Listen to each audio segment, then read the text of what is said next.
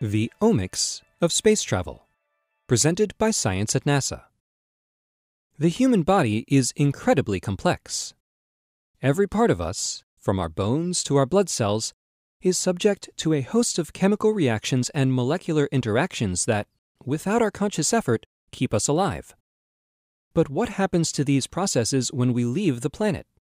In Earth orbit and beyond, where gravity is counteracted by a constant state of freefall and cosmic radiation intensifies, the molecular inner workings of the human body may change.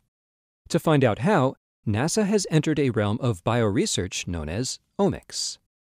Omics refers to the collection of data on the medley of microcosms that regulate our bodies at a molecular level. Things that work with the metabolism are grouped underneath the term metabolome. All of the lipids in the body are called the lipidome. All of the proteins, you guessed it, proteome. We have launched a one year study to understand the omics of space travel, says Craig Kundrot, PhD in the Office of the Chief Scientist at NASA headquarters. Astronauts are spending a year on the International Space Station, and we are looking at what happens to them on the molecular level. This project is really two projects. First, there is the twin study, NASA has twin astronauts. One of them, Mark Kelly, is staying on Earth while his brother Scott Kelly orbits Earth.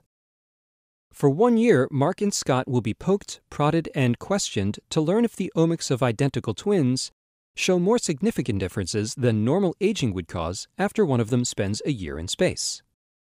At the same time, Scott Kelly is involved in a separate project called the One Year Mission. Unlike previous expeditions to the space station, which lasted only six months, Scott Kelly is spending a full year on board the station alongside Russian cosmonaut Mikhail Kornienko.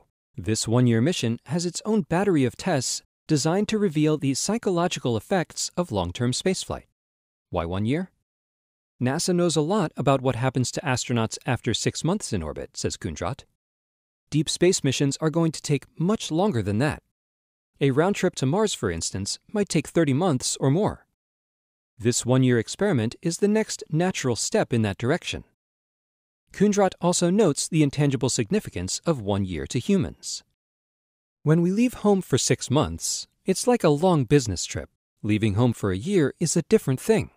We are going to miss every birthday, anniversary, graduation, and many other milestones.